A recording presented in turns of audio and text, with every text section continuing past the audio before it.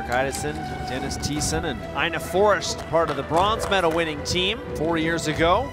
Jon Thurston, his Paralympic debut, Woo. past the guard, and it is good for three yellows.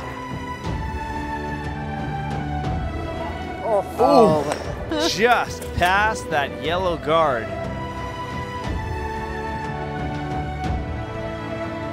Two more for the Canadians.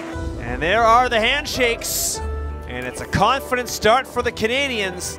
It's always always good to start with a win, right? Uh, get that under your under your belt, but especially against uh, China. I mean, they're they're one of the top teams in the world, and you know uh, we always have a have a challenging game against us, and they they force us to bring our best game, and and they always bring theirs. So it's a it's a good game to to get under our belts, and and look forward to building off that.